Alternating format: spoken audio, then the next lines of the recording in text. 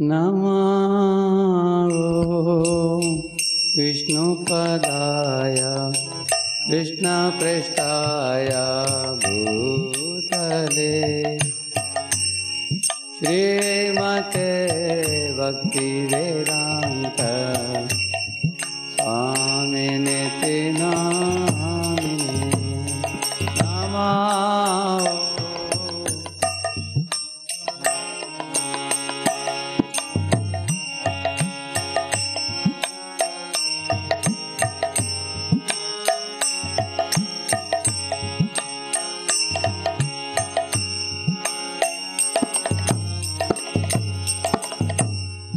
नमस्ते सारस्वते सारस्वती गौरवाणी ककारिणे निर्विशेषा शून्यवादि। पाश्चात्यदेशतारिणे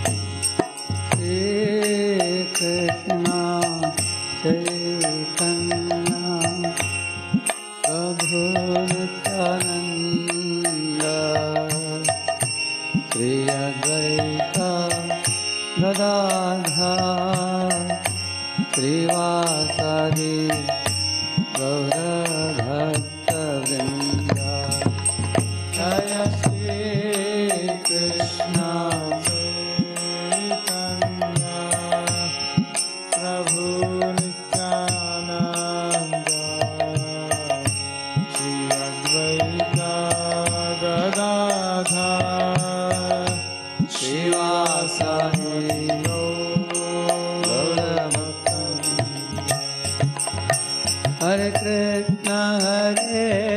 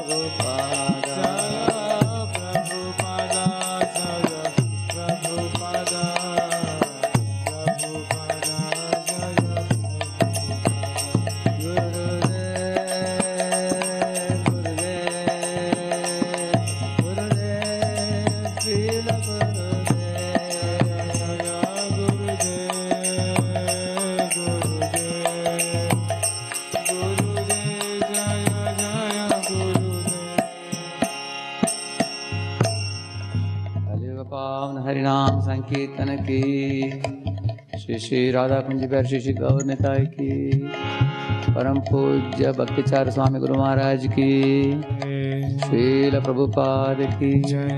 गौर भक्त वृंद की।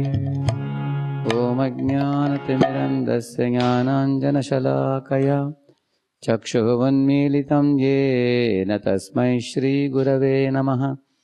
नमा ॐ विष्णुपादाय कृष्णपृष्ठाय भूतले। श्रीमते भक्तिवेदान्तस्वामिन्निति नामिने। नमस्ते सारस्वते देवे गौरवाणी प्रचारिणे। निर्विशेषशून्यवादी पाश्चात्यदेशतारिणे। वाञ्छाकल्पतरुभ्यश्च कृपा सिन्धुभ्य एव च। पतितानां पावनेभ्यो वैष्णवेभ्यो नमो नमः। जय श्रीकृष्णचैतन्य प्रभु नित्यानन्द श्री अद्वैतगदाधर श्रीवासादिगौरभक्तवृन्द। हरे कृष्णा हरे कृष्णा, कृष्ण कृष्णा, हरे हरे। हरे राम हरे राम राम राम, हरे हरे।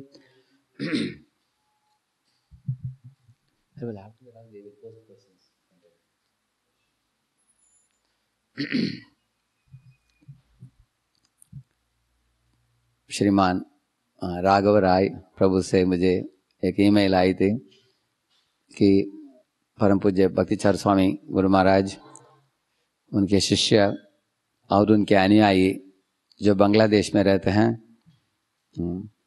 वो सब भक्तों को संबोधित करते हुए मुझे कुछ परम पूज्य भक्तिचार स्वामी महाराज जी के संबंध में दो शब्द बोलने के लिए मौका दिया है मैं इसको बहुत बड़ा सौभाग्य मानता हूँ कि महाराज जी की गुणगान में दो शब्द बोलने के लिए मुझे मौका दिया गया है।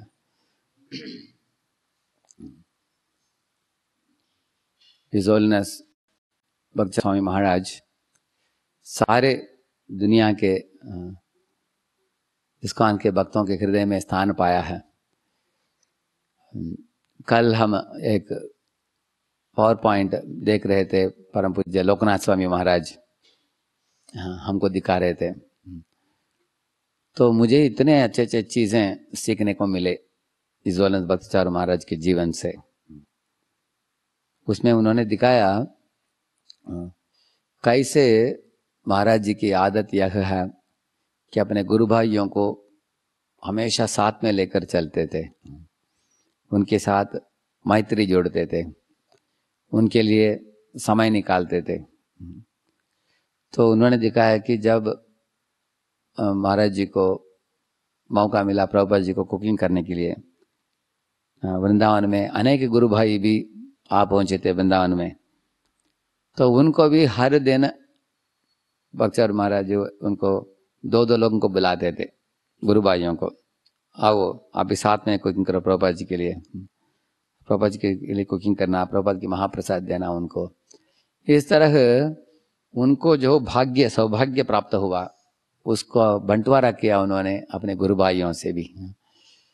इतना ही नहीं, जब एक बार वो दीक्षा दे रहे थे इजोलनस भक्तिचारू महाराज, तब उन्होंने फ़ोन करके पूछा इजोलनस लोकनाथ स्वामी को भी, आपका दीक्षा प्रोग्राम कब है? क्या हम दोनों साथ में कर सकते हैं? तो दोनों ने साथ में किया कार्यक्रम ऐसे। तो सब शिष्यों को बहुत आनंद आया। तो इसकान एक परिवार है, जिसमें प्रभुपाद जी सब इसकान के शिष्यों के लिए एक बड़े हीरो हैं फाउंडर आचार्य हैं। तो इस अनुभव को कैसे हम सब लोग प्रभुपाद के छत्र छाया में, साथ में एक परिवार के सदस्य बनकर रहे? तो इसके लिए बक्चर बक्चर महाराज जी खुद ही एक उदाहरण इस तरह प्रस्तुत किया है। हम्म। और उन्होंने अनेक फ़ोटो दिखाया, जिसमें हमने देखा कि अनेक गुरु भाइयों के साथ कीर्तन में नाचना, उनके साथ अपने प्रोजेक्ट्स में बुलाकर उनको स्वागत करना, मान सम्मान देना, उनसे कथा बुलवाना, है। इस तरह महाराज जी ने किया है। ये बहुत अद्भुत उदाहरण है। हम लोग अपने अपने प्रचार में इतने डूब जाते हैं। हम गुरु भाइयों के लिए समय नहीं निकाल पाते हैं। हम्म। सोचते हैं कि मैं, मेरा, तू, तेरा ऐसे चला, जीवन चला जाता है। हाँ। वो आप, उनका देख रहा है, हम अपना देख रहे हैं। भाग दौड़ में प्रचार काम में हम डूब जाते हैं। लेकिन महाराज जी से सीखने लायक चीज़ है कि कैसे हम इस बड़े परिवार जो है, इस इस्कान के परिवार, इसमें सब लोगों को साथ में लेकर चले हम। और प्रीति लक्षण के लिए हम थोड़े समय निकाले प्रेम का आदान प्रदान करने के लिए, क्योंकि जीवन का परम लक्ष्य है कृष्ण प्रेम प्राप्त करना। और वो प्राप्त करने के बाद अगर हमें प्राप्त करना हो तो भक्तों के संग में आकर ही हम प्राप्त कर सकते हैं। तो महाराज जी का एक ये उदाहरण बहुत आदर्श है सुंदर आदर्श उदाहरण है। इस तरह एक अ, अ, क्या बोलते हैं उसको? किसी भी तरह का सेक्टेरियनिज्म बोलते हैं ना करते हुए सबके साथ जुड़कर महाराज सबके हृदय में स्थान पाया अपने गुरु भाइयों के हृदय में। तो मेरा पहला मुलाकात हुआ पर मुझे बक्सर महाराज के साथ कब? एक बार हम मायापुर में अ, कुछ यात्रा के लिए गए थे। उस समय में एक गाड़ी में जा रहा था भक्तों के साथ।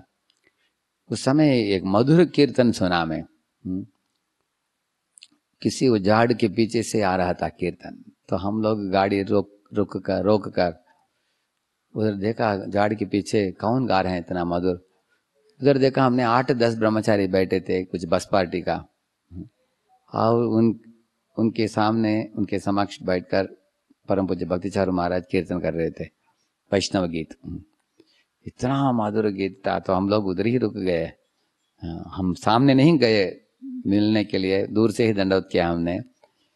हमने भी भाग लिया लगभग पौना घंटा कीर्तन में। तो जाते समय मैंने भक्तों को पूछा, इस महाराज का नाम क्या है? तो लोग बोले, परम पूज्य भक्तिचार्य स्वामी गुरु महाराज हैं। तो पहली बार मैंने देखा उनको उधर, मायापुर में, ऐसे। तो उनको मिलने की इच्छा थी। उसके बाद आगे जाकर मुझे मौका मिला। हम्म। तो अनेक बार मौका मिला उनको मिलकर। उनसे सीखने के लिए। तो एक बार पुणे में आए थे महाराज जी। पुणे में तो हर दो साल में एक बार आते थे महाराज जी।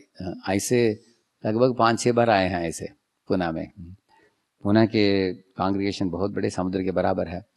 लेकिन उन उस कांग्रेगेशन के जो लीडर्स होते हैं जैसे जयदेव प्रभु कृष्ण कपा प्रभु जानव माता जी सत्यवती माता जी राधिका माता जी वंशी गोपाल प्रभु ये सब बड़े बड़े नेता हैं, जिनके अंडर में 200 300 लोग हैं लोग हैं।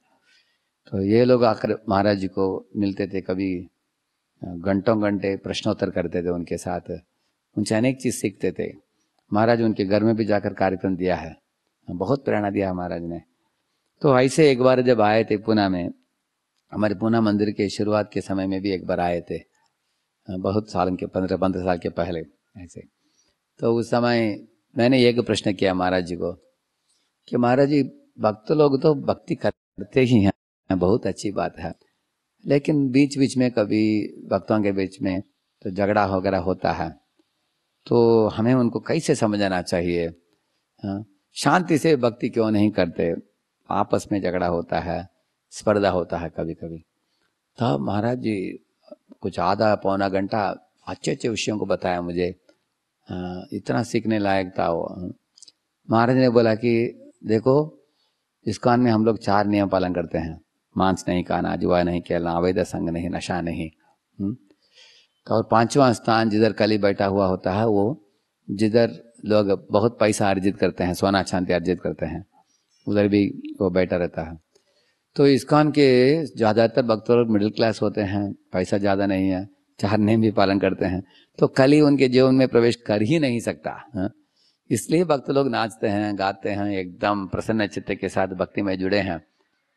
लेकिन महाराज ने बोला, कली के पास और बड़ा आयुध है। सबसे बड़ा ब्रह्मास्त्र है कली के पास। मालूम है क्या? उन्होंने पूछा, मैंने सोचा, कली का क्या होगा इसे ब्रह्मास्त्र उसके पास? तो महाराज बोले वो झगड़ा मचाना भक्तों के बीच में। तो बोले Kalyug is age of quarrel and hypocrisy बोले कि इस तरह का धोखेबाजी और झगड़ा कराने में कली बड़ा निपुण है। कली देखता है कि इस्कॉन संस्था के लोग साथ में जुड़कर मुझे बगा रहे हैं। मुझे स्थान नहीं मिलेगा। प्रभुपाद स्वामी अमेरिका में जाकर बड़े बड़े गोमांस खाने वालों को भी गो गोमांस खाना बंद कर दिया।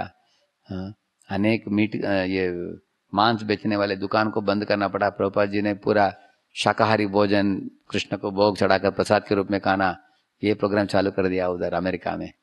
तो अनेक लोग कुपित हुए हम्म, खास करके मांस बेचने वाले ये लोग हैं तो अभी कल ही सोच रहा था कि ये हरे कृष्णा लोगों का नंबर संख्या बढ़ जाएगा तो ये लोग मुझे भगा देंगे हम्म। इसलिए महाराज बोले कि अगर भक्तों के बीच में कभी झगड़ा इस तरह होता है भक्तों को क्या करना चाहिए? महाराज बोले, मैंने बोला, महाराज को बोला कि महाराज बैठकर कुछ सुलझाना चाहिए। महाराज बोले, नहीं। बोला। उन्होंने बोला, भक्त एक दूसरे के कंधे में हाथ डाल लेना चाहिए और बोलना चाहिए कि झगड़ा हमारे बीच में नहीं है, कली मचा रहा है। अभी कली को शूटिंग करो। कली को भगाओ। आप भक्तों के साथ मैत्री जोड़ो, कली को बाहर भगाओ। ऐसे बोले। हैं तो तुम भक्तों को सिखा दो कि जब भी झगड़ा आएगा झगड़ा का नाम ही कली है हैं? तो कलयुग में। अब खास करके भक्तों के साथ झगड़ा नहीं करना चाहिए। तो उन्होंने बोला क्यों? क्योंकि भगवान भक्त लोग भगवान के लिए बहुत प्रिय हैं हाँ? इसलिए उनको आ, समझना चाहिए कि कली मचा रहा है ब्रह्मास्त्र डालकर बीच में एक तरह का झगड़ा ला रहा है। ऐसे बोले। इतना अच्छा सीख सिखा है महाराज ने। उस समय मैं बड़ा भाग्यशाली था क्योंकि वो शुरुआत के दिनों में सुनने के बाद अभी मैं अच्छी तरह समझ लिया ये बात। कोई भी झगड़ा करने के लिए आते थे मेरे पास, मैं सफ़ेद झंडा पकड़ता था सफ़ेद झंडा मतलब पीस फ्लैग में हाँ? उनको बोलते थे, झगड़ा करने के लिए हम तैयार नहीं है, क्योंकि कलयुग का जमाना है हाँ? अभी हम प्रेम से रहेंगे, बस झगड़ा मत करेंगे हम्म। तो उसके बाद मुझे महाराज के ऊपर बहुत विश्वास हुई कि कुछ खास प्रश्न हो तो महाराज को ही पूछना चाहिए तो एक बार मुंबई में मुझे पता चला कि महाराज जी आ रहे हैं। उधर चौपाटी श्री राधा गोपीनाथ मंदिर में उधर कुछ प्रवचन देने वाले हैं। तो मैं तुरंत सुबह का ट्रेन लेकर गया मुंबई। तो शाम को महाराज का बढ़िया प्रवचन हुआ उधर। लीडरशिप इन कृष्णा कॉन्शियसनेस इसके ऊपर उन्होंने एक प्रवचन दिया। तो प्रवचन बहुत बढ़िया रहा। प्रवचन होने के बाद मैं महाराज को मिला और पूछा कि महाराज, आप नेताओं के लिए अच्छे अच्छे विषय सिखा रहे हैं आप, हैं? बहुत महत्वपूर्ण सीख, हमने सीखा आज आपसे। लेकिन पूना में हम लोग बहुत बड़ा मंदिर बांधने जा रहे हैं। अभी दो तीन साल में पूरा हो जाएगा? इतना बड़ा विशाल मंदिर है छः एकड़ में। तो आप कृपया बताइए, इतने बड़े प्रोजेक्ट को संभालने के लिए हम महीने में हम लोग चालीस लाख, पचास लाख रुपया खर्चा करेंगे। हाँ बड़ा सुख सुविधा भी हो जाएगा। आयशाराम भी बढ़ जाएगा नया मंदिर में। हम लोग छोटे मंदिर छोड़कर इधर से हम बड़े मंदिर में जा रहे हैं। और वो बड़ा मंदिर आने के एक साल पहले ऐसा कुछ पूछा था मैंने।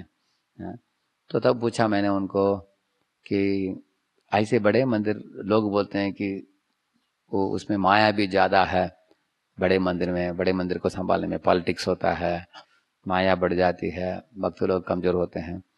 तो आपका सुझाव क्या है? हमें क्या करना चाहिए? और कुछ लोग बोलते हैं, बड़ा मंदिर कमर्शियल भी है। आप लोग इतना बेचते हो, चीज़ों को बहुत महँगे दाम में ऐसे। तो महाराज सरल जवाब दिया उन्होंने। उन्होंने बोला, बाग बाज़ार का उदाहरण दिया उन्होंने। बोला कि देखो, बाग बाज़ार मंदिर में भी भगवान तुलसी ठाकुर ने बोला, बड़ा मंदिर आने के बाद भक्त लोग बोले, मुझे ये कमरा चाहिए, वो कमरा चाहिए, झगड़ा कर रहे थे वो। तब उन्होंने बोला कि, मार्बल को निकाल कर बेच दो, किताब चापो, सबको बाहर भेजो वितरण करने के लिए। वो उदाहरण दिया महाराज ने और देखकर उन्होंने बोला, देखो, अगर भक्तों को भक्ति में गंभीर बनना हो हाँ भक्तों को अगर मंदिर को, मंदिर का स्टैंडर्ड अच्छा रखना हो, इस तरह का पॉलिटिक्स नहीं तो इंद्रिय तृप्ति, आपस में झगड़ा, ये सब नहीं चाहिए तो आपको संकीर्तन के आग जो है उसको वर्धन करना चाहिए हम्म। जितना संकीर्तन का आग बढ़ जाएगा उसमें सब माया के प्रोडक्ट्स सब जलकर राख हो जाएँगे। पॉलिटिक्स नहीं रहेगा, झगड़ा नहीं रहेगा, स्पर्धा नहीं रहेगा, और इंद्र तृप्ति नहीं रहेगा। तो संकीर्तन को बढ़ा दो। बोला कि आध्यात्मिक जीवन में सब लोग गंभीर बनेंगे। तीव्रता से नाम जपेंगे, तीव्रता से गए, प्रभुपाद की किताबें पढ़ेंगे, तीव्रता से भक्ति में जुड़ेंगे। 24 घंटा दिन रात प्रभुपाद की मिशन में सेवा में लगे रहेंगे। तो ये संकीर्तन का आग को बढ़ाने का मार्ग है, ऐसे बोले वो बहुत अच्छा लगा मुझे मैंने सोचा, दूसरों को भी हम करवाएँगे, लेकिन पहले खुद करूँगा मैं हम्म। इसलिए वो महाराज जी के पास ये सब, जब बात मैंने सुना, उस दिन से मैंने सोच लिया कि एक भी मिनट में खाली नहीं रहूँगा हम्म। सुबह से लेकर रात तक एक के बाद एंगेजमेंट एंगेजमेंट के बाद एंगेजमेंट देता रहूँगा खुद को भी हाँ। तो भक्तिमय जीवन में व्यस्त रहने से हम लोगों का मन शांत रहता है कृष्ण के श्री चरण में हाँ। हमेशा हम गुरु और कृष्ण का स्मरण करते हुए हम सेवा में लग जाते हैं बाकी लोगों के साथ झगड़ा करने के लिए समय नहीं है हाँ। बाकी लोगों का टांग खींचना झगड़ा करना, पॉलिटिक्स करना, इसके लिए किसी के पास टाइम नहीं रहेगा इस तरह महाराज के पास कभी कभी इस तरह एक दो प्रश्न पूछने को जवाब जवाब मिला, लेकिन वो सालों साल मेरे जीवन में लागू करने के लिए मुझे बहुत बड़ा लाभ प्राप्त हुआ तो एक बार मैं ईश्वरनाथ भक्ति प्रेम महाराज ने बुलाया था मुझे उज्जैन में। तो हर साल मैं जाता हूँ उज्जैन और इंदौर और भोपाल। तीन, तीनों स्थान में हम जाते हैं। तो महाराज जी बुलाते हैं, तीन, चार दिन जाता हूँ मैं। सोलंस भक्ति प्रेम महाराज सोलंस भक्तिचारू महाराज, दोनों को बुलाते हैं हम पुणे में भी। सोलंस भक्तिचारू स्वामी गुरु महाराज इधर आते थे साल में कभी कभी एक बार। सोलंस भक्ति प्रेम महाराज भी आते हैं इधर। तो एक बार मैं जब गया था उधर हम्म, तब भाग्यवश परम पूज्य भक्तिचार स्वामी का भागवतम क्लास था। हाँ, तो मुझे भी सुनने को मिला। तो मैं था उधर दो दिन तीन दिन। तो जाने के पहले महाराज से विनती किया था मैंने कि महाराज आप आपसे कुछ प्रश्नोत्तर हो सकता है तो अच्छा है। लेकिन देखा उनके कमरे के बाहर बहुत लोग थे।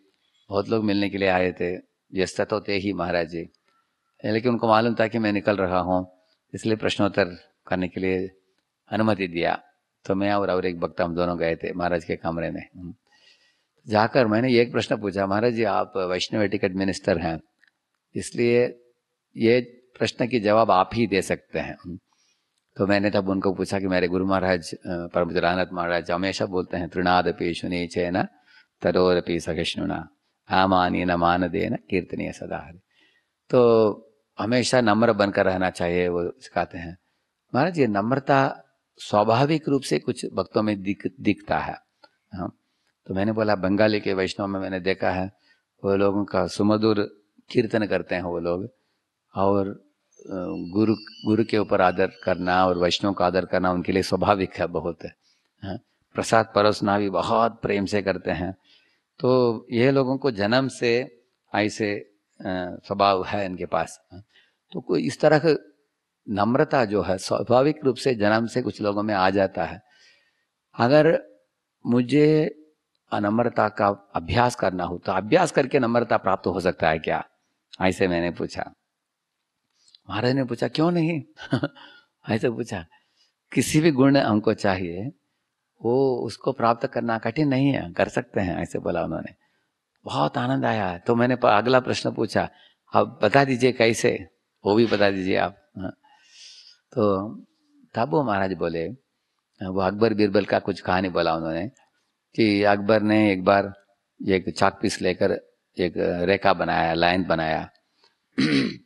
और सब मंत्रियों को पूछा, कोई है क्या मंत्री? आपको ये लाइन को छोटा करना पड़ेगा, कर सकते हैं क्या? मंत्री लोग बोले, ये क्या बड़ी बात है? एक डस्टर लेकर आया उसको, रब करके आधा लाइन बनाने के लिए। लेकिन राजा बोला, नहीं नहीं नहीं, इसको स्पर्श नहीं करने का, लेकिन छोटा करने का। तो मंत्री लोग बोले, अगर उसको एरेस किए बिना छोटा कैसे होगा? वो? कोई कर नहीं पाए। तो बीरबल आया। उसने बोला, मुझे चाकपीस चाहिए, मुझे दस्तर नहीं चाहिए। तो सब लोग सोचते चाकपीस लेकर क्या करेगा? सोचा उन्होंने। तो चाकपीस लेकर उन्होंने वो लाइन के निकट और एक बड़ा लाइन बनाया। तीन गुना बड़ा था वो। हाँ? तभी राजा को बुलाया, बोला कि, राजा छोटा करने के बोला, अभी छोटा कर दे, देखिए अभी। वो लाइन से ये लाइन छोटा है। राजा बोला, अरे, बुद्धिमान हो तुम, है?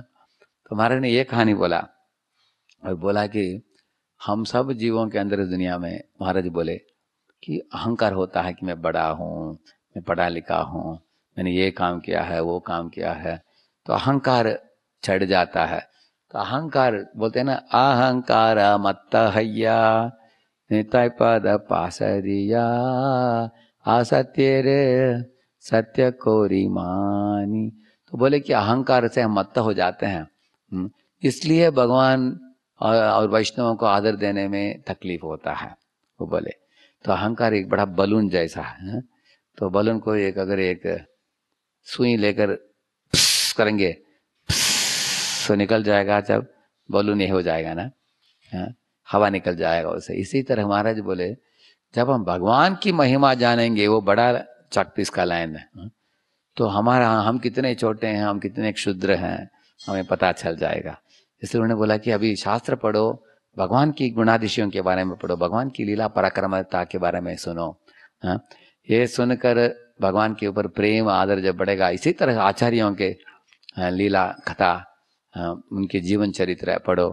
इस तरह उसको पढ़कर वो कितने महान थे हम कितने क्षुद्र हैं।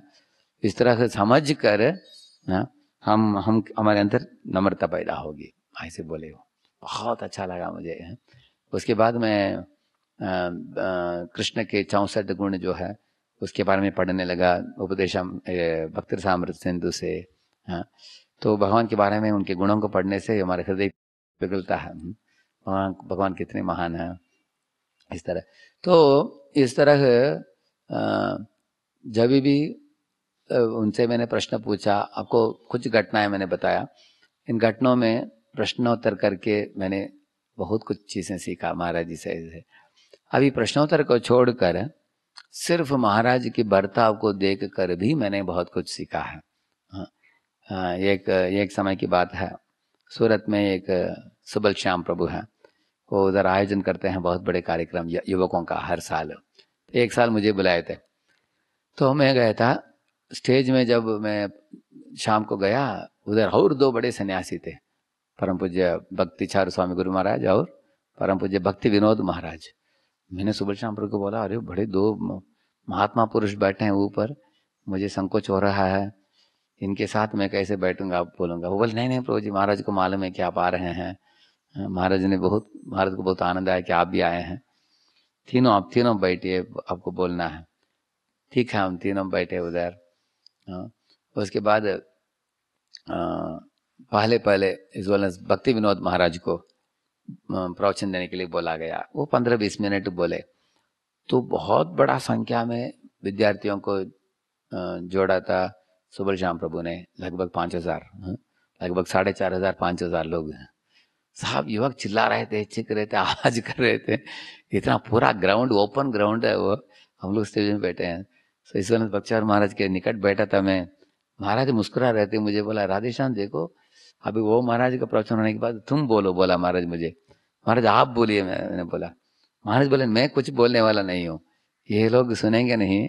इनको कीर्तन करके सबको नचाऊँगा। हम्म, ऐसे बोले। हम्म।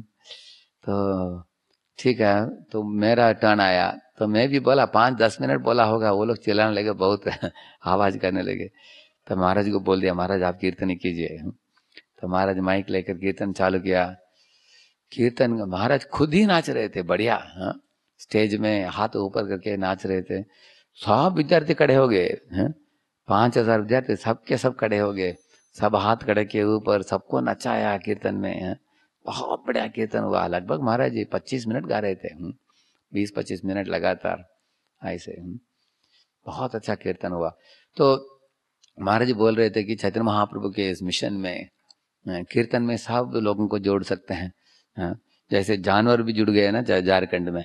इस तरह कोई भी किसी भी तरह का इंसान हो कीर्तन सबको अच्छा लगता है। तो कीर्तन करके ये आगे बढ़ेंगे भक्ति में। ऐसे बोले महाराज जी। तो उस समय मैं उधर था सूरत में तो अगले दिन भी अक्टूबर सेकेंड था तो गांधी जयंती था। तो सुबह शाम ने हम दोनों को किसी तो रेडियो स्टेशन लेके गए थे परम पूज्य भक्तिचार स्वामी और मुझे भी। हम स्टेशन में सब बहाना दिया हमको कुछ बोलना था गांधी के बारे में। हम्म। तो महाराज को मैंने बोला महाराज आप पहले बोलिए आपके बाद मैं बोलूँगा। महाराज बोले नहीं नहीं नहीं राधेश्याम तुम जो बोलना है तुम बोलो मैं भी सुनना चाहता हूँ तुम क्या बोलने वाले हो हाँ? इस तरह बोलकर महाराज बैठे थे। मैं बोला, पंद्रह बीस मिनट, पंद्रह मिनट बोला मैं। तो महाराज जी की नम्रता, महाराज जी की वैष्णव सदाचार धर्म स्थापन हेतु सादर व्यवहार, बोलते हैं ना? तो उनके व्यवहार के द्वारा ही वो धर्म को स्थापन करते हैं। हम इस तरह। ये उधर ही नहीं, फिर भी मैं अनेक बार महाराज को मिला हूँ जैसे मैंने बताया, उज्जैन में एक बार जब गया था तभी विदा लेकर मुझे निकलना था पूना के लिए हाँ। लेकिन महाराज जी थे बाथरूम में गए थे नहाने के लिए हम्म। तो मैं बाहर ही दंडवत प्रणाम करके निकल गया तो मेरे कमरे में जाकर लगेज पैक करके नीचे उतर आया विश्वनाथ भक्ति प्रेम महाराज और बाकी ब्रजेंद्र कृष्ण प्रभु, बाकी भक्तों को दंडवत करके मैं निकलने ही वाला था गाड़ी में जाकर देखा, महाराज जी बैठे थे पीछे। बड़ा गाड़ी था। तो भक्त लोगों ने मुझे बोला, यही गाड़ी में आपको जाना है।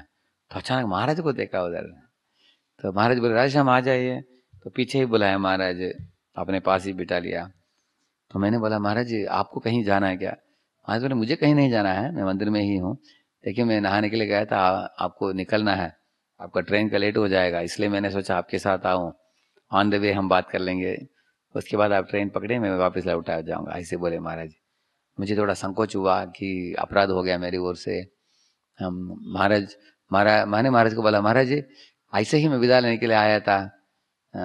आपको आने की ज़रूरत नहीं महाराज, आप आराम कीजिए। वो मना किया, महाराज बोले, मैं आऊँगा ज़रूर। मुझे भी कुछ बात करना है तुमसे। ऐसे बोलकर पूरे ट्रिप में बात कर रहे थे। ट्रेन के पास छोड़कर उसके बाद गए महाराज। जी तो इससे हम लोग एक महत्वपूर्ण चीज़ सीखते हैं कि वो हैं बड़े वैष्णव प्रभुपाद जी के शिष्य हैं निकट पार्षद हैं बहुत वरिष्ठ हैं हाँ, वो एग्जीक्यूटिव जीबीसी के चेयरमैन रहे हैं। इतने बड़े बड़े पदवी प्राप्त करके इतने महान गुरु हज़ारों शिष्यों का गुरु हैं। तो नम्रता और धैर्य इत्यादि को उन्होंने अपने उदाहरण से खुद ही सिखाते हैं वो। यही मैंने बताया कि एक चीज़ तो मुँह से बोलना दूसरा है उसको अपने जीवन में उतारना। तो ये मुझे देखने को मिला महाराज के जीवन में। इधर जब पूना में आए थे हम्म, तो अनेक भेंट भी लेके आए थे भक्तों को लीडर्स को देने के लिए। अलग अलग लीडर्स को अलग अलग गिफ्ट देते थे वो। तो लीडर लोग को बड़ा आश्चर्य होता था अरे हमको देना चाहिए महाराज जी को कुछ। महाराज जी हमको अलग अलग गिफ्ट दे रहे हैं अलग अलग आइटम दे रहे हैं। हाँ, ऐसे वो लोग सोच रहे थे। तो देखा मैंने वैष्णव भागवत में एक श्लोक आता है शांता समदृश शुद्धा सर्वभूतानुरंजना यांत्यंजसा अच्युत पदम अच्युत प्रिय बांधवा ऐसे एक श्लोक है ध्रुव महाराज के अध्याय में आता है। शांता मतलब जिनके हृदय हमेशा शांत है वो किसी भी तरह का भौतिक लालसा नहीं है। हाँ, जैसे कर्मी ज्ञानी योगियों में लालसाएँ होते हैं भक्त के हृदय शांत है। समदृश सबको समता से देखते हैं शुद्ध आहा शुद्ध भक्ति करते हैं। सर्वभूतानुरंजना सब जीवों को आनंद प्रदान करते हैं सुख प्रदान करते हैं। हाँ। सब जीवों को भगवान के भक्त के रूप में देख कर सबको सुखी करते हैं। हम्म। तो ये जब पढ़ा मैंने ये जो सर्वभूतानुरंजना तुरंत मुझे महाराज जी का स्मरण आया हम्म। सब वैष्णवों को खुश करने के लिए हमेशा प्रयत्न करते हैं। तो कलकत्ता में मैं जब जाता था उधर महाराज का रेगुलर आगमन होता था उधर अ, कलका कलकत्ता में क्योंकि कलकत्ता प्रभुपाद जी का जन्म स्थान है।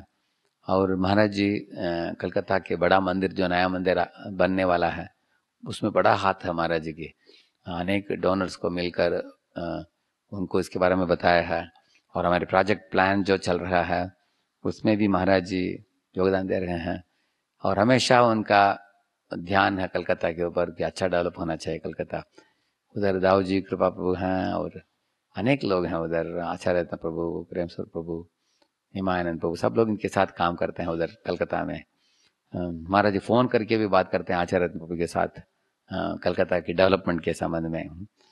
तो उधर एक बार हमने देखा कि उधर शरणागति नाम के एक सेमिनार तीन दिन का महाराज ने किया तो सुबह शाम दोनों टाइम जैसे दो दो घंटा महाराज का प्रोग्राम होता था, उसमें एक घंटा महाराज प्रश्नोत्तर भी करते थे तो आचार्य ने मुझे बोला कि कितना महाराज जी व्यक्तिगत रूप से हर एक परिवार के नाम बुलाते हैं, जो प्रश्न लिख कर दिया है वो उठते हैं तो उनके लिए जवाब देते हैं तो इस तरह व्यक्तिगत रूप में वैष्णव के साथ डीलिंग करने में महाराज बड़े निपुण हैं। हम्म।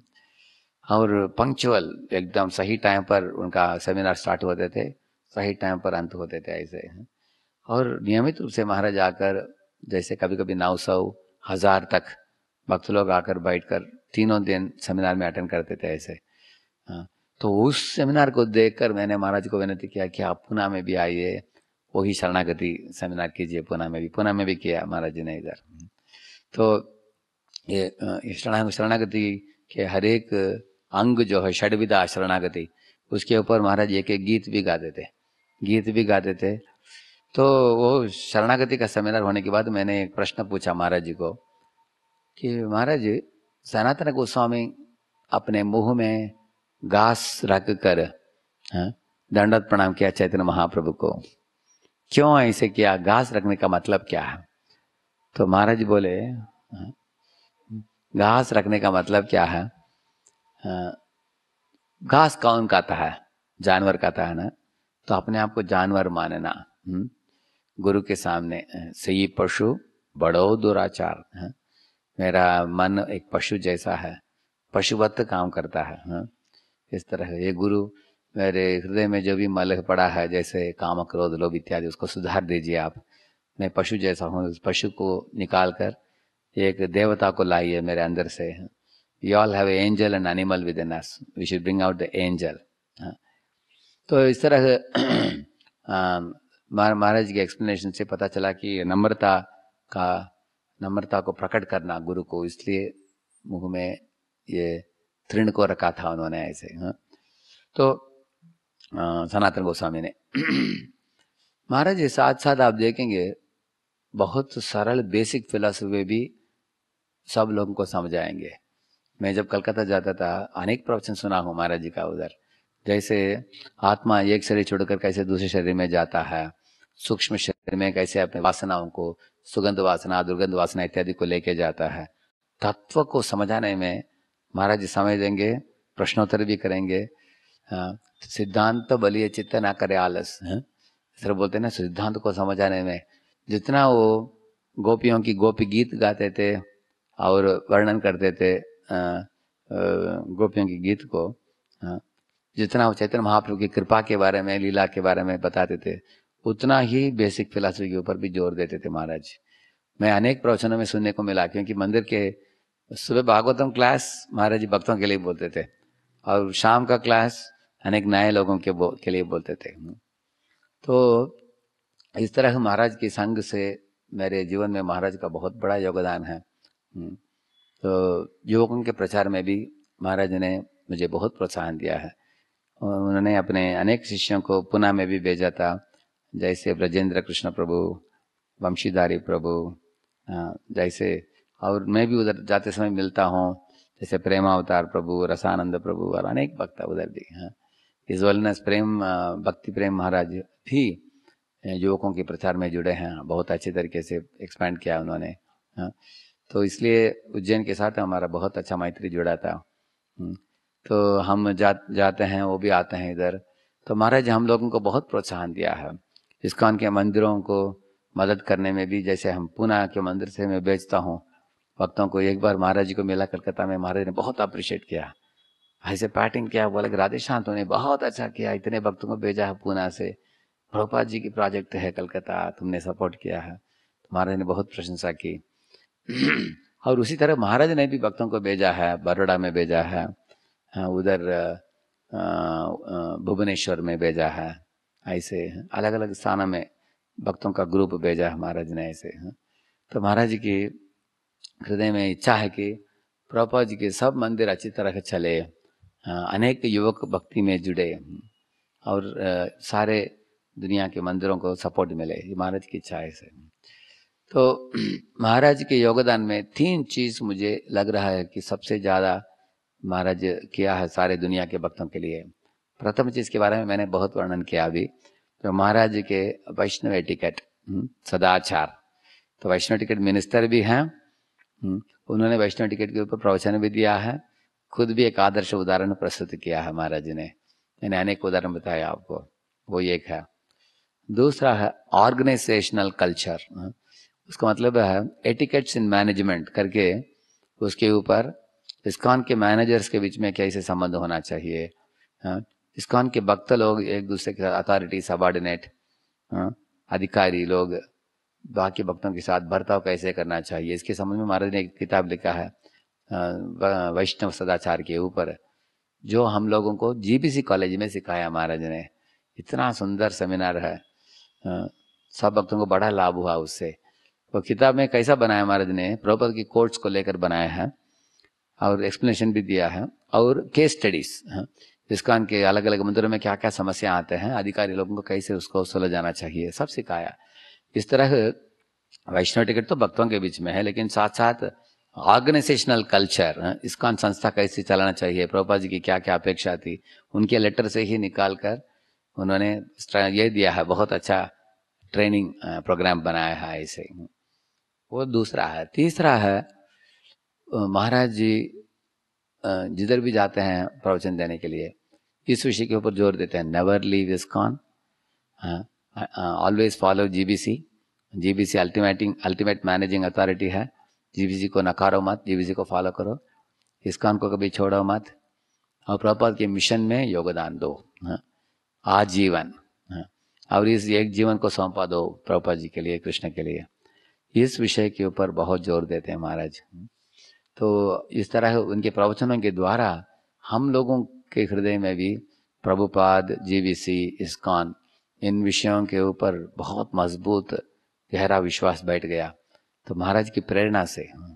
तो उधर रविंद्र स्वरूप प्रभु ने एक किताब बनाया था प्रभुपाद के संबंध में फाउंडर आचार्य प्रभुपाद। जब ये किताब महाराज के हाथ में आया, महाराज ने तुरंत ऐसे हज़ारों किताबों को, ऐसे पाँच दस हज़ार किताबों को स्पॉन्सर कर दिया महाराज जी। बोले कि सब लीडर्स को सारे दुनिया में भेजो हाँ? जिसको चाहिए फ्री में, सब लीडर्स को दो, सब लोग पढ़ना चाहिए फाउंडर आचार्य प्रभुपाद के बारे में। इतना उनका प्रेम है। तो मैं और बहुत कुछ चीज़ें महाराज ने जो किया मैं बता सकता हूँ लेकिन आप लोग जानते भी हैं महाराज ने अभय चरण सीरियल बनाया है हाँ, महाराज ने प्रभुपाद की सब किताबों को अनुवाद किया है। अनेक चीज़ें हैं महाराज जी के कंट्रीब्यूशन इस काम के लिए। आप लोग मेरे से भी ज़्यादा जानते हैं पहले से महाराज ने क्या क्या किया आप लोग जानते हैं। तो मैं आपको इतना ही बताया आज तो मुझे क्या प्राप्त हुआ महाराज जी से व्यक्तिगत रूप से मैंने प्राप्त किया वो आपको बताया और खास करके महाराज जी के शिष्यों के लिए मैं एक महत्वपूर्ण चीज़ भागवत से बताना चाहता हूँ। भागवत के चौथे स्कंद में एक मलय ध्वजा और वैदर्भी के बारे में एक वर्णन आता है। वो लोग जंगल में जाते हैं वानप्रस्थ बनने के लिए। वानप्रस्थ बनकर एकदम पूरा भगवान वासुदेव के ऊपर ध्यान करते हुए जीवन बिताते हैं। वो पत्नी जो है, पति को सहयोग देती है भक्ति मार्ग में। तो पुरुष जो है, वो भक्ति में स्थित स्थित है, स्थिर है भक्ति में। तो एक दिन पत्नी देखते कि पति लेटा हुआ है और उसके पाँव ठंडे हो गए हैं। उन्होंने स्पर्श करके देखा, ठंडा हो गया। ज़ोर से वो रोने लगी। समझ गई कि अभी मेरे पति निकल निकल गए अभी। भगवत धाम लौट चले हैं। वो रोने लगी। जब वो रो रही थी, उस समय एक ब्राह्मण आया उधर तेजस्वी ब्राह्मण। वो ब्राह्मण इसके सामने आकर बोला कि हे माते तुम क्यों रो रहे हो? आपको मालूम नहीं क्या? आ, हम एक ही झील में अगर दो हंस पक्षी रहते हैं इस तरह एक ही हृदय में आत्मा परमात्मा दोनों विराजमान है। इस तरह वो वो बोल वो उन्होंने बोला वो स्त्री को आप कभी भी अकेले नहीं हो आप चिंता मत करो। आपके हृदय में आपके साथ मैं हूँ। तो वो वो, वो ब्राह्मण कौन था? परमात्मा था। वो बोला कि मैं आपके ही हृदय में हूँ आप चिंता मत करना। हाँ तो मैं अंदर ही खड़े होकर परमात्मा के रूप में आपको उपदेश देते रहता हूँ। और जो मैं देता हूँ उसको आप सुन नहीं पाती हो। हाँ, इसलिए मैं ब्राह्मण के रूप में आया हूँ अभी। जो लोग मुझे देख पाते हैं, सुन पाते हैं, उनके लिए मैं विष्णु स्वरूप में आता हूँ। लेकिन तुम अभी तक उतना प्रगति नहीं किया है, इसलिए मैं एक ब्राह्मण के रूप में आया हूँ। और साथ साथ उन्होंने बोला कि परमात्मा जो भी बोलते हैं, वो ही गुरु भी उसी वाणी को दोहराता है। इसलिए परमात्मा के पास एक माइक लगाया जाए। माइक से निकलने वाले बड़ा आवाज़ होगा, वो गुरु का आवाज़ हाँ। तो guru is like amplifier of परमात्मा वॉइस ऐसे उन्होंने बोला। अभी तक तुम्हारे गुरु रहे, तुम्हारे साथ उपदेश दिया, आदर्श उदाहरण प्रस्तुत किया, अच्छे अच्छे चीज़ सिखाया आपको। अभी उनका समय आ गया, भगवत धाम लौटने के लिए लौट चले हैं। Guru a director director within and preceptor without बोलते हैं। तो मतलब अंदर का गुरु का नाम है परमात्मा, बाहर का गुरु है दीक्षा गुरु हाँ। इस तरह दीक्षा गुरु से आपने जो भी सुना, सीखा, उस वाणी को गंभीरता से पकड़ लो। उस वाणी को सुनते हुए अपने जीवन में जब उतारोगे हाँ, तब आपका प्रगति होगा और एक समय आएगा जब आप अंदर की वाणी भी आपको सुनाई देगा। जो परमात्मा की भी आदेश वही आदेश है जो गुरु आपको देते हैं। हम्म। और तब वो बोलते हैं कि पति के अनुपस्थिति अनुपस्थिति में कैसे एक पत्नी को जीवन बिताना चाहिए? उसके आए, उसके उपदेशों को, आदेशों को गंभीरता से लेना चाहिए। जब अर्जुन को पता चला कि भगवान श्री कृष्ण अपने धाम लौट गए, वो फुट फुट कर रोने लगे वो, युधिष्ठिर महाराज के पास आकर। तब रोते हुए अश्रु बहाते हुए, तब उन वो स्मरण स्मरण कर रहे थे, कैसे कैसे कृष्ण ने हमें संग दिया अपना? उनकी मदद से ही हमको द्रौपदी का हाथ मिला। उनके कारण ही, उनके आइडिया के द्वारा ही हम लोग जरासंध को मार पाए। कृष्ण की सुरक्षा के कारण ही हम युद्ध भूमि में, रणभूमि में हम विजय प्राप्त किया। कृष्ण के कारण ही हम बारह साल के बाद हमारे राज्य प्राप्त हुआ। कृष्ण के कारण ही हम दुर्वासा मुनि के विविध श्रापों से हम बच गए। ऐसे लेकिन अभी वंचितोस्मी महाराज, हरिणा बंधु रूपिणा ऐसे बोलता है कि अभी मैं वंचित हो गया हूँ उनके अनुपस्थिति में। हाँ। लेकिन अभी उनकी अनुपस्थिति में उनकी भगवत गीता जो मुझे बोला भगवान ने, उसको स्मरण करके मैं आश्वासन पाऊँगा। हाँ। इस तरह बोलकर अर्जुन ध्यान पूर्वक गीता का उपदेश सुना। वो सुनते समय तुरंत कृष्ण के साथ जो मैत्री हुआ था, वो याद आया उसको। उस स्मरण में डूब कर अपने समय बिताया अर्जुन ने। ऐसे ही आप लोग भी महाराज जी की अनेक वीडियोस हैं, प्रवचन हैं, उनके उपदेश हैं आपके लिए। ऐसे भगवान ने उनको भेजा है, भगवान ने अपने पास उनको ले लिया है।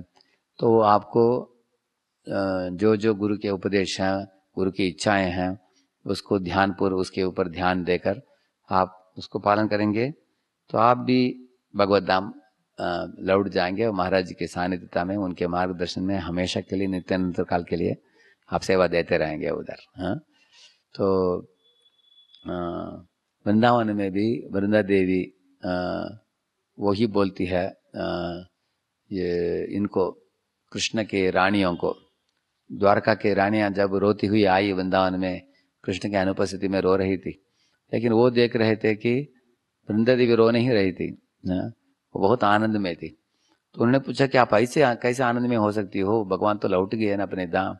तो वृंदा देवी बोले कि मैंने कथा श्रवण किया उद्धव जी से हाँ। उद्धव जी इधर जो हैं, ये गुलमलता के रूप में विराजमान हैं। उन्होंने इतना अच्छा लीला कथा बताया कृष्ण के बारे में। उन लीलाओं को स्मरण करते करते करते उनके स्मरण में अभी लग रहा है वो इधर ही है हमारे साथ। ऐसा लग रहा है कि वो कहीं नहीं गए हैं हाँ। इसलिए मुझे खेद नहीं होता है, व्याकुलता नहीं होता है, ऐसे बोली वो। उसके बाद रानियों ने बोला, हमको भी सुनना है। तो उन्होंने उद्धव जी को बुलाया और उद्धव जी उनको भी कथा बताया।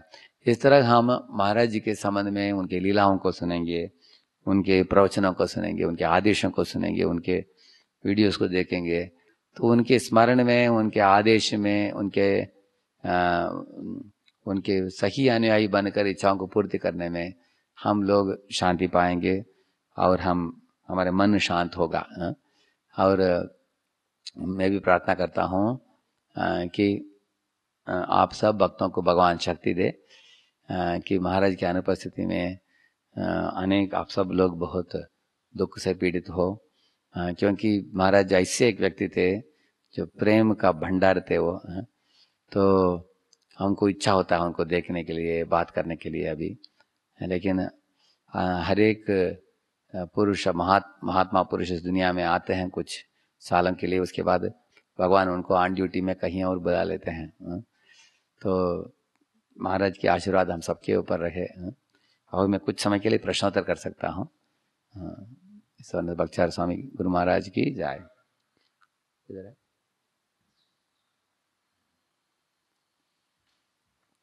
इफ़ आई इधर एक भक्त पूछ रहे हैं if I try to cot real devotion what I try to do for this?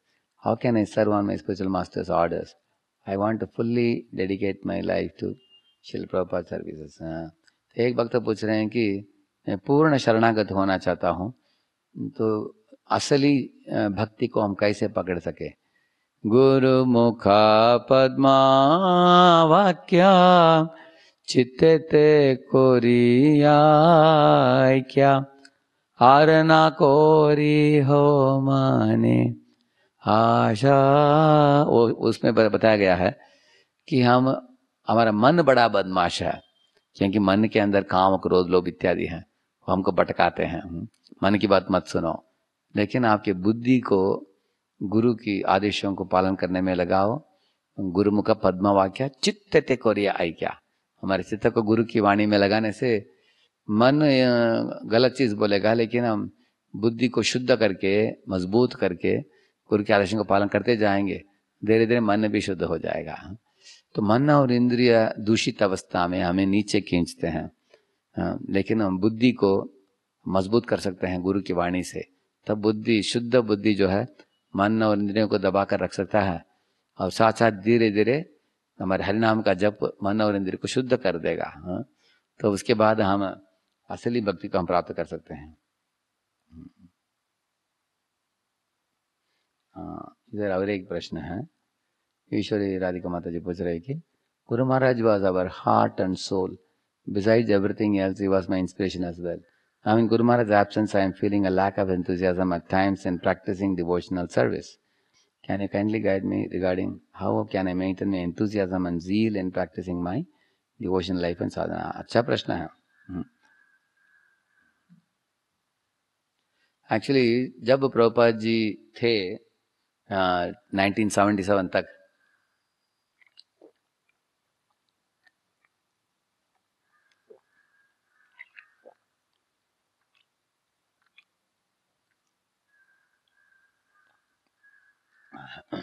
अनेक भक्त लोग बोलते हैं, हम लोगों को लगा कि हम तो भगवत धाम में ही है हाँ? उनकी उपस्थिति में। वो लोग प्रभुपाद के साथ ट्रैवल करते थे, प्रभुपाद के साथ बात करते थे। प्रभुपाद की अनुपस्थिति में उनको लगा कि सारे दुनिया शून्यातम जगत सर्वम बोलते हैं ना। ऐसे शून्य हो गया कुछ कुछ लोग भक्ति में कमज़ोर पड़ गए। क्योंकि उन्होंने सोचा कि प्रभुपाद जी की मुस्कान नहीं है, हमको प्रोत्साहन देने के लिए अभी कौन है? तो इनका प्रश्न बहुत इंपॉर्टेंट प्रश्न है, माता का प्रश्न उत्साह के संबंध में। तो एक चीज़ हमें समझना चाहिए कि हमारे गुरु हमारे दृश्य में नहीं है, लेकिन ऊपर से देख रहे हैं। हम क्या कर रहे हैं? अभी भी सोनस बख्तर महाराज देख रहे हैं हम सबको? वो भगवान के साथ हैं, अपने स्वरूप में रहेंगे, सिद्ध देह में रहेंगे अभी। तो सिद्ध देह में रहकर उस देह से देखेंगे मेरे शिष्य सब कैसे कर रहे हैं। तो अगर माता अच्छी तरीके से आप सेवा करेगी करोगी तो आपके गुरु महाराज का आशीर्वाद अभी भी आएगा आपके ऊपर। ऐसा नहीं कि वो अभी उनका संबंध आप आप लोगों के साथ नहीं है ऐसा नहीं है। गुरु के साथ संबंध शाश्वत है। हम भगवत धाम जाने के बाद भी उनको मिलेंगे उधर। हम्म, ये पहली बात है। दूसरी बात है महाराज जी के अनेक वरिष्ठ शिष्य हैं। आपके लोकल अथॉरिटीज हैं उनसे आप प्रेरणा ले सकते हैं। तो उनमें से जो भी आपको आदर्श भक्त दिखते हैं तो उनसे प्रेरणा लेकर उनसे सेवा मौका लेकर सेवा कीजिए। क्योंकि कुछ सेवा होने से क्या होगा मन लग जाएगा सेवा में ऐसे हाँ? और ये दूसरी बात है। तीसरी बात है महाराज की वीडियोस देखिए प्रवचन सुनिए। महाराज ने अनेक प्रवचन दिया है बढ़िया बढ़िया हाँ। क्योंकि साल में जो सितंबर में ट्रेनिंग होता था हाँ, सुबह शाम महाराज जी अनेक प्रवचन दिया है। तो इन प्रवचनों को वापस विज़िट कीजिए और नोट्स बनाइए महाराज के आदेश क्या क्या है उसको लागू कीजिए हाँ? तो आपको महाराज की अनुपस्थिति महसूस होगा ही नहीं आपको हाँ तो महाराज जी के अनेक अच्छे अच्छे शिष्य हैं वरिष्ठ शिष्य हैं वो भी महाराज के प्रतिनिधि बनकर महाराज का, का ही आदेश को पालन कर रहे हैं आप ऐसे भक्तों से प्रेरणा लीजिए अनेक माताएँ हैं अनेक प्रभुजियाँ हैं हम्म? हम्म। अनादि रघुनाथ प्रभु पूछ रहे हैं कि how to build up my sadhana strongly इसके लिए सुबह का कार्यक्रम पक्का होना चाहिए। साढ़े चार से साढ़े नौ कार्यक्रम जो है वो अच्छा करेंगे तो सब भौतिक इच्छाएँ मिट जाएँगे। दसवां नाम अपराध नहीं होगा। हाँ। अ, साधना स्ट्रांग सुबह का कार्यक्रम सब भक्तों के साथ आकर मंगल आरती करना नाम जब सोलह माला एक स्थान में बैठकर पूरा कर देना चाहिए। हाँ ऐसा नहीं कि इधर चार, उधर चार, ऐसा नहीं हाँ? पूरा कर देना चाहिए नाम जब तो मंगल आरती तुलसी आरती, नाम जब गुरु पूजा, भागवत क्लास हाँ? तो ये रेगुलर जो करेगा, मैंने देखा है मेरे आँखों के समक्ष, जो लोग इसको पक्का करते हैं वो लोग कभी भी डीले नहीं पड़ेंगे लेकिन कुछ लोग ये स्ट्रिक्ट करने के बाद भी डीले पड़ते हैं, मालूम है कौन जो गर्व चढ़ जाता है उनको कि मैं बड़ा साधना करता हूँ मैं महान हूँ। इसलिए गर्व को मिटाने के लिए हमें नम्र सेवा करनी चाहिए वैष्णवों की। हाँ, वैष्णव सेवा। वैष्णव सेवा करने से अहंकार मिट जाता है।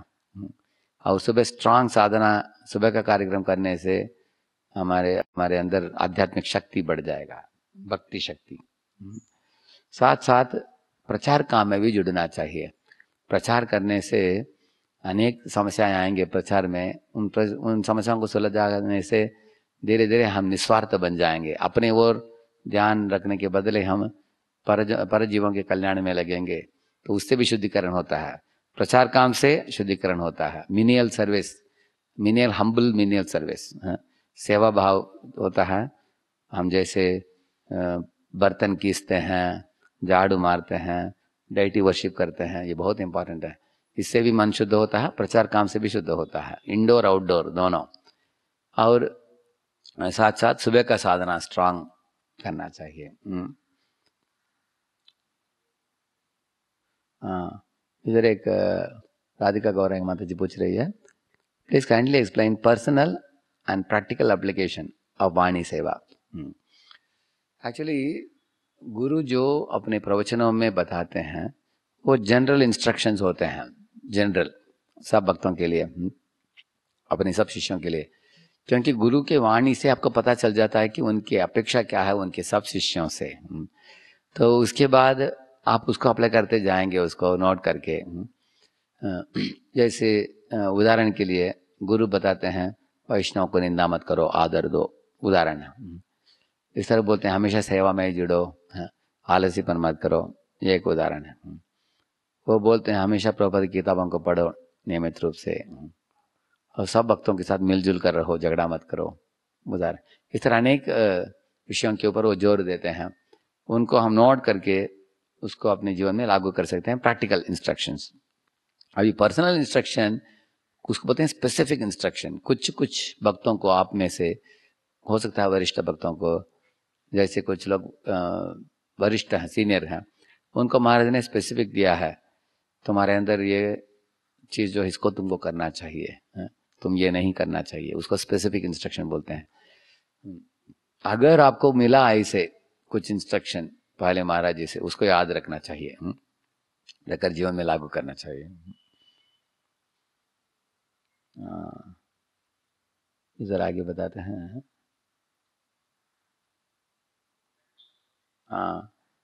हाउ कैन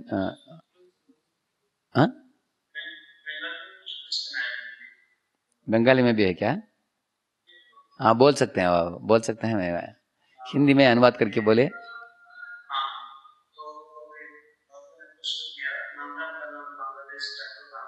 हाँ। हाँ। इसका।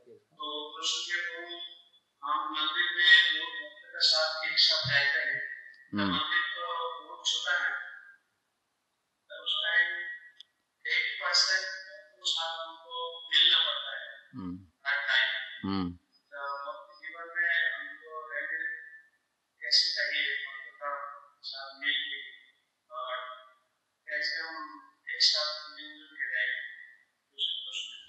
हाँ करेक्ट एक्चुअली आप लोगों ने सुना होगा कि अधिपरिचयात अवज्ञात, बोलते हैं ना? कभी कभी भक्तों के एकदम निकट आने से उनके अच्छाई बुराई दिख ही जाता है ऊपर। इसलिए हम लोग कनिष्ठ अधिकारी, मध्यम अधिकारी, उत्तम अधिकारी इनके बारे में चैतन्य चरितमृत में वर्णन आता है, पढ़ना चाहिए। क्योंकि भक्तों के अंदर कमियाँ होने के बावजूद भी हमें उनको प्रेम करना चाहिए। हाँ? जैसे कनिष्ठ अधिकारी सोचता है, मैं ही सबसे अच्छा भक्त हूँ। हाँ? बाकी भक्तों से मैं श्रेष्ठ हूँ ऐसे। एक मध्यम अधिकारी भक्त समझता है कि इतने बड़े दुनिया में बहुत कम लोग भक्त हैं। हम्म। भक्त बनना आसान काम नहीं है। मुक्त पुरुषों में, सिद्ध पुरुषों में, एक व्यक्ति वैष्णव बनता है कोटि कोटि मुक्त पुरुषों में, सिद्ध पुरुषों में। हम्म। इस तरह जैसे इन्होंने बताया अभी अगर मंदिर में स्थान कम है भक्त लोगों का संख्या बड़ा है एक ही ही डॉर्मेट्री में पंद्रह बीस लोग रहते हैं ऐसे तो इस तरह की परिस्थिति में हर एक की कमियाँ भी दिखाई दे देते हैं। इसलिए हमारे आँखों में करुणा भरी आँखों के साथ हमें देखना पड़ेगा भक्तों को हाँ, कि भक्तों में कमियाँ हैं।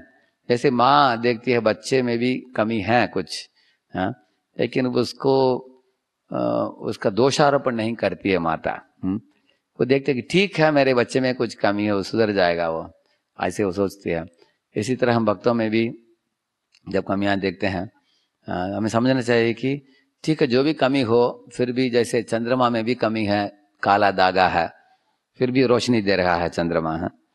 अभी तारे हैं, तारे रोशनी नहीं दे सकता, लेकिन चंद्रमा रोशनी देती है।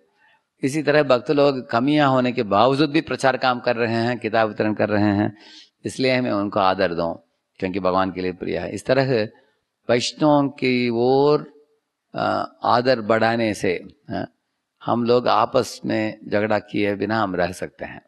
इट्स पॉसिबल है। भक्तिविनोद ठाकुर बोलते हैं, आठ तरीके के आदर, है। बोलते हैं, नरमात्र मर्यादा, किसी को ये मनुष्य का शरीर मिला है, उसको आदर देना चाहिए।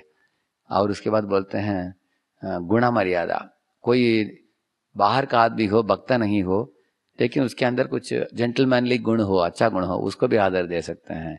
हाँ। और वर्ण मर्यादा बोलते हैं आश्रम मर्यादा बोलते हैं भक्ति मर्यादा बोलते हैं ऐसे। हम्म, हम्म। और इस तरह पदवी अगर कोई राजा है नवाब हुसैन शाह राजा था इसलिए सनातन गोस्वामी सब ब्राह्मण खड़े हो गए जब नवाब हुसैन शाह आया। हालाँकि वो गोमांस खाने वाला व्यक्ति था फिर भी सलाम मारा आदर दिया। क्यों? क्योंकि वो पदवी में है वो। इस तरह भक्तिविनोद ठाकुर बताते हैं कि सबको और और एक चीज़ बताते हैं कोई अगर ज्ञान वृद्ध है हाँ, वयोवृद्ध है उनको भी आदर देना चाहिए। इस तरह हम लोग भक्तों भक्तों के बीच में रहते समय आदर सकले सम्मान कोरिते शकति देहो नाता याता याता। तबे तो गाइबो हरि नाम सुखे। अपराध हबे हट। अगर हमें अपराध दूर करना चाहते हैं भक्तों के आदान प्रदान में तो सकल सम्मान कोरिते शक्ति सबको सम्मान करने के लिए सीखना चाहिए। वो सम्मान से ही अपराध छूट जाएगा, अपराध नहीं आएगा। अपराध नहीं आने से कृष्ण प्रसन्न हो जाएँगे। कृष्ण कृष्ण प्रसन्न होने के बाद हम आगे बढ़ सकते हैं भक्ति में हाँ? इधर एक प्रश्न ले लो। हम्म। इधर हाँ बोलिए। हाँ। हाँ बोलिए। I can hear you I can hear you बोलिए प्रभु। One question. हाँ या।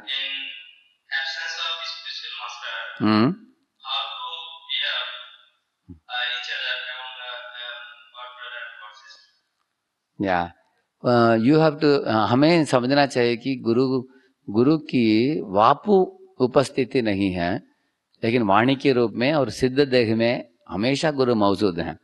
हाँ? जैसे आप लोग जानते हो कि बांग्लादेश में जब श्रीनिवास आचार्य थे एक दिन बैठकर वो ध्यान में चले गए। हाँ, तब गाँव के सब लोग डर गए क्या ज़िंदा है मृता है करके हाँ? तो वो घंटों घंटे आठ घंटे बाहर नहीं आए ध्यान से। तो वो लोग ढूंढ रहे थे कि रामचंद्र कविराज किधर है जो उनके निकट पार्षद हैं। तो वो दूसरे गाँव में थे आने जाने के लिए दो तीन महीना लगेगा। लेकिन भक्त लोग ने उनका स्मरण किया तुरंत वो आ गए रामचंद्र कविराज उधर। आकर सब लोगों ने पूछा उनको गुरुजी ऐसे स्थिति में है क्या किया जाए? तो वो भी उनके निकट बैठकर ध्यान में गए, अभी दोनों ध्यान में चले गए, हैं? तो लोग सोच रहे थे ये भी गया? अभी अभी कैसे ये लोग, क्या ज़िंदा है? मृत पता नहीं था लोगों को। उस समय क्या हुआ? उधर भगवान के गोलोक धाम में राधा जी की नूपुर कहीं तो घूम गया था पानी में, यमुना के पानी में। सब गोपियाँ ढूंढ रही थी। उसमें इनके गुरु जो थे, श्रीनिवास आचार्य थे, वो मणि मंजरी थी हाँ? मणि मंजरी ढूंढ रही थी। अभी ये जो रामचंद्र कविराज थे करुणा मंजरी हम्म, तो करुणा मंजरी जाकर देखा ओ इधर है मेरे गुरु जी हाँ? तो करुणा मंजरी भी ढूँढने लगी हम्म। तो मणि मंजरी किसके शिष्य है? गोपाल भट्ट गोस्वामी उनका नाम है गुणा मंजरी तो गुणा मंजरी के शिष्य मणि मंजरी मणि मंजरी के शिष्य करुणा मंजरी है। तीनों ढूंढ रहे थे। तब करुणा मंजरी को मिल गया हाँ, ये नूपुर मिल गया पानी में। उन्होंने दिया मणि मंजरी को दिया मणि मंजरी गुणा मंजरी को दिया। गुणा मंजरी ने दलिता विशाखा को दिया, उन्होंने राधा रानी को दे दिया राधा रानी बहुत खुश हो गई हाँ। तो राधा रानी के मुख में तांबुल था उसको निकाल कर प्रेम से उन्होंने इनको दे दिया मणि मंजरी को दे दिया हाँ। तो मणि मंजरी उसको अपने कमर में बाँध दिया हाँ। नहीं मणि मंजरी ने उसको इनको दिया करुणा मंजरी को दिया तो उन्होंने बाँध दिया था कमर में तो कुछ ही क्षणों में ये लीला होने के बाद हरी बोल, बोलते हुए दोनों वापस लौट आ गए। कौन? ये रामचंद्र कविराज और श्रीनिवास आचार्य दोनों, हैं? सब लोग खुश हो गए, मृदंग करता लेकर, बजाने लगे, कीर्तन करने लगे, हैं? सब नाचने लगे, सब भक्त है। तब सबने देखा कि सुगंध फैल रहा है कमरे, वो कमरे में। किधर से सुगंध आ रहा है? तब रामचंद्र कवि ने देखा कि उनके धोती में वही तांबुल था जो राधा जी ने दिया था, उनको सिद्ध देह में। तो ये शरीर साधना देह है और वो सिद्ध देह है हाँ। तो इस तरह ये गुरु इस दुनिया में भी साधना देह में रहते समय सिद्ध देह में प्रवेश करते हैं और कभी साधना में वापस आते हैं हाँ? इसलिए हमें समझना चाहिए कि अभी उनके सिद्ध देह में अभी हैं महाराज जी, क्या कुछ गोपी के रूप में हैं, गोप के रूप में हैं भगवान को पता मालूम नहीं लेकिन उधर भगवान की लीला में जुड़े हैं, उधर से देख रहे हैं वो कभी कभी इधर के भक्त भी उधर लीला में जुड़कर वापस लौट आते हैं। ये हमें मालूम होना चाहिए। इसलिए अगर हम, इसका स्मृति रहेगा हमें, हम समझ सकते हैं कि गुरु महाराज आपके प्रोजेक्ट्स को भी देख रहे हैं, आप लोगों के जीवन को भी देख रहे हैं, आप कैसे कर रहे हैं। ये बहुत इंपॉर्टेंट है। हम लोग गए थे, गोविंद घोष, माधव घोष, वसुदेव घोष, उनके समाधि में गए थे। परम पूज्य इंद्रदुम्न स्वामी महाराज ने बोला, आप लोग ब्रह्मचारियों, ऐसा मत सोचो कि आप दंडवत प्रणाम करते हो इनका तो देहांत बहुत सालों के पहले हो गया हाँ, इनके शरीर को समाधि दिया है इधर ऐसा मत सोचो वो बोले कि समाधि में जाकर जो भक्त प्रार्थना करता है उनको वो ही गुरु वो अपने सिद्ध देह से आशीर्वाद देते हैं हाँ। तो इस तरह आशीर्वाद का एक प्रोग्राम है हमारे वैष्णव सिद्धांत में कैसे भगवान आयोजन किया है हाँ। इस तरह अभी भी महाराज हम सबको देख रहे हैं उधर से। अभी तो ऐसे वो परिस्थिति में है जो समय और स्पेस एंड टाइम से उससे ऊपर है महाराज जी, हैं? उधर देख रहे हैं। तो उसको जितना भक्त लोग स्मरण करेंगे, वो मिलजुल कर अच्छी तरीके से वो सेवा दे सकते हैं। करेक्ट है ना? Thank you thank you thank you प्रभु।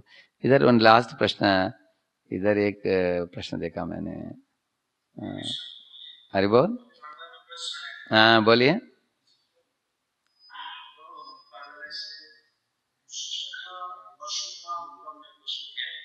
क्या है?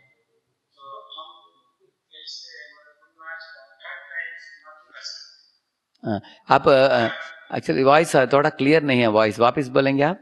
वापस? हाँ क्या? हाँ।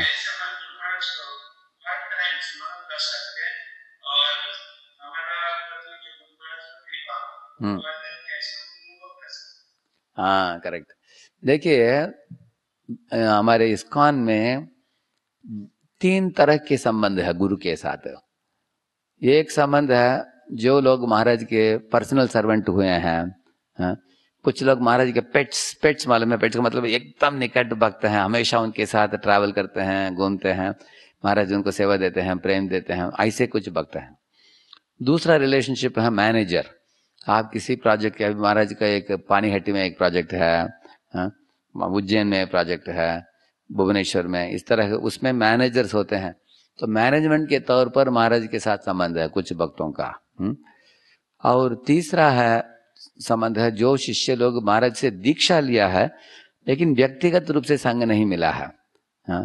देखा उन्होंने, प्रवचन सुना है, लेकिन व्यक्तिगत संबंध नहीं हुआ है इन तीन भक्तों भक्तों जो होते हैं इसमें तो पहले भक्त जो होते हैं उनका बहुत निकट संबंध हुआ है तो उनके पास बहुत लीलाएँ हैं महाराज की हैं। वो लोग बहुत कुछ वो लोग तुरंत लिखना भी चाहिए। उनके मन में जो भी याद है गुरु के बारे में जो भी उन्होंने देखा है फ़ोटो है वीडियोस है उसको एकदम सुरक्षित रखना चाहिए। वो लोग क्योंकि महाराज के साथ ट्रैवल भी किया वो लोगों ने। जैसे पुणे में कृष्ण किशोर प्रभु थे महाराज के साथ सेवा किया उन्होंने ऐसे। तो वो वो कैटेगरी दूसरा हम मैनेजर लोग जो हैं उनको इस्कॉन के लीडरशिप के संबंध में महाराज जी ने अनेक उपदेश दिया होगा। हाँ, प्राप्त हुआ होगा उनको महाराज जी से उन चीज़ों को रिकॉर्ड करना चाहिए।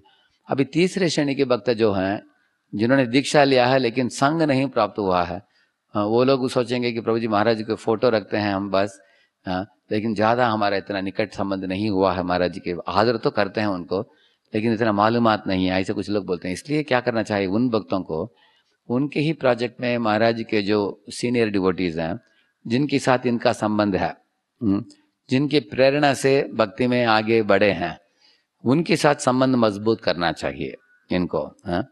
और उनको ही गुरु का प्रतिनिधि मानकर अपने मन खोल कर गुह्यम आख्याति प्रचित इत्यादि करके भक्ति में आगे बढ़ना चाहिए इस तरह करने से गुरु की कृपा का अनुभव कर पाएँगे अपने जीवन में ठीक है हम्म।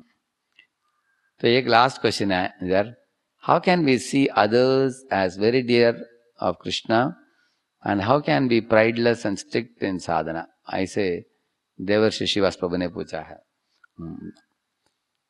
एक्चुअली हर एक भक्तों को कैसे कृष्ण के प्रिय देख सकते हैं? Uh, अभी गोस्वामियों के जीवन चरित्र हम पढ़ेंगे। हम्म, और चैतन्य चरतामृत चैतन्य भागवत इत्यादि को नियमित रूप से हम पढ़ते जाएँगे रेगुलर तो उधर भक्तों के बर्ताव देखकर हम, वो ही बर्ताव हम में आ जाएगा। हाँ। लेकिन आजकल क्या होता है, बहुत ज़्यादा टाइम मैनेजमेंट में जाता है। मैनेजमेंट में अनेक गलतियाँ करते हैं। वैष्णव को वैष्णव जैसे ट्रीटमेंट नहीं देते हम उनके झगड़ा करते हैं।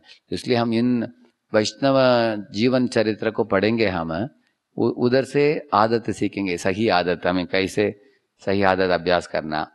और how to be prideless and strict in sadhana अगर हम साधना में स्ट्रिक्ट भी बने लेकिन गर्व गर्वित भी नहीं हो जाए उसके लिए मैंने बताया आपको मीनियल सर्विस करना चाहिए। जैसे बर्तन खींचना झाड़ू पोंछा करना डेटी वर्शिप करना हाँ, और भक्तों के लिए अ, कुछ सेवा करना जैसे प्रसाद सेवा करना कुकिंग करना इन चीज़ों में हम जुड़ेंगे ना इस तरह वैष्णव सेवा करने से हमारे अहंकार मिट जाएगा वैष्णव की कृपा से महीय महीयसाम पादरजोभिषेकम। निष्किंचना नाम नवृणीते आवत ऐसे बताया गया। तो तो जो भी बंगाली में लिखा था, वो प्रश्न बोल दिया मैंने, अनुवाद करके उन्होंने बताया। थैंक यू वेरी मच एक लास्ट प्रश्न इधर। राघव कीर्तन प्रभु ने पूछा है how can we feel that all the gurus of ISKCON are one and take inspiration from them बहुत सुंदर और खास प्रश्न है ये। देखिए वसुदेव सुतम देवम कंस चाणुरमर्दनम देवकी परमानंदम कृष्णम वंदे जगत गुरुम ऐसे एक श्लोक है हम्म? सारी दुनिया का जगत का गुरु एक ही व्यक्ति है, कौन? कृष्ण है। लेकिन वो एक कृष्ण अनेक गुरु के मुखों से बोलता है, वही कृष्ण बोलते हैं जैसे एक कोहिनूर डायमंड होता है, उसके अलग अलग साइड से अलग अलग रंग निकलता है, कोई पीला, कोई लाल कोई हरा, कोई नीला हाँ? अलग अलग रंग निकलता है तो एक एक साइड एक एक गुरु के समान है हाँ? तो ये गुरु संकीर्तन के ऊपर ज़ोर देते हैं, दूसरा गुरु प्रचार के ऊपर ज़ोर देते हैं, तीसरा गुरु किताब वितरण के ऊपर ज़ोर देते हैं, और चौथा गुरु वैष्णव सदाचार के ऊपर ज़ोर देते हैं अलग अलग गुरु तो सब लोग प्रभुपाद जी के ही आदेशों को लेकर सिखा रहे हैं तो एक ही गुरु कृष्ण है उनके ही वाणी अलग अलग गुरु के मुख से निकलता है। मेरा ये समझावट जब से मिला, मैं सब गुरु, गुरुओं के साथ में आसानी से संग कर पाया और उनके संग से बड़ा लाभ प्राप्त किया मैंने। उनको कोटि कोटि दंडवत करता हूँ। हिज होलीनेस निरंजन स्वामी की एक किताब है कैरिंग फॉर कृष्णास डिवोटीज करके। उस किताब में वो लिखते हैं, अगर आप हिमालय में जाओगे कंचनजंगा करके सबसे ऊँचा एक पहाड़ है। लेकिन उस पहाड़ के बाजू में आप देखोगे उससे थोड़ा छोटा पहाड़ है, और भी पहाड़ हैं, दूसरे पहाड़ हैं। ऐसा नहीं कि एक ही पहाड़ है हाँ? अनेक पहाड़ हैं। इसी तरह ये एक अंतरंग शिष्य वो होता है, जो अपने गुरु की महानता भी देखता है, दूसरे गुरुओं का भी महानता देखता है। और उन गुरुओं के बाद वरिष्ठ सीनियर डिवोटीज हैं, उनको भी देखता है अलग अलग लेवल के। तो सबसे संग कर पाता है, ये समझकर, मेरे प्रिय कृष्ण ही इन सब वैष्णवों के मुख से बोल रहे हैं। इस तरह वो देखता है। ऐसे वो लिखते हैं वो, उस किताब में, हैं। इस तरह हम भी संग कर सकते हैं। जैसे मैं परम पूज्य राजनाथ स्वामी का शिष्य हूँ, लेकिन एक दर्जन से भी ज़्यादा अनेक गुरुओं के वाणी से मुझे लाभ प्राप्त होता है। मैं उनके प्रवचनों को सुनता हूँ, शिक्षा। आज भी मैंने आपको बहुत कुछ बताया इस भक्ति चार स्वामी से मैंने क्या सीखा? इस तरह हम सब गुरुजनों से हम वो सब हमारे चाचा जी जैसे हैं हाँ? जैसे आपके पिताजी हैं, उनके उनके बड़े भाई, छोटे भाई होंगे ना, ऐसे ही है। इसका बहुत बड़ा परिवार है। हमारे ब्रदर्स एंड सिस्टर्स हैं, कजिन ब्रदर, कजिन सिस्टर हैं। इस तरह हमें देखना चाहिए। अगर माया के विरुद्ध हम लोग युद्ध कर रहे हैं, सामने प्रभुपाद जा रहे हैं। प्रभुपाद के पीछे सब गुरुस जा रहे हैं। सब गुरुओं के पीछे हम लोग जा रहे हैं। तो हम सब युद्ध कर रहे हैं, किसके साथ? माया के विरुद्ध? हम आपस में क्यों लड़ाई करें? माया के विरुद्ध लड़ाई करना चाहिए, है ना? बहुत बहुत धन्यवाद। आपने मौका दिया, मुझे एक घंटे से ज़्यादा ले लिया मैंने समय हम्म? परम पूज्य भक्तिचार्य स्वामी गुरु महाराज की, श्रीला प्रभुपाद की, गौर भक्त वृंद की, श्री श्री गौर निताय की। थैंक यू हरे कृष्ण गौर भक्त वृंद की जय।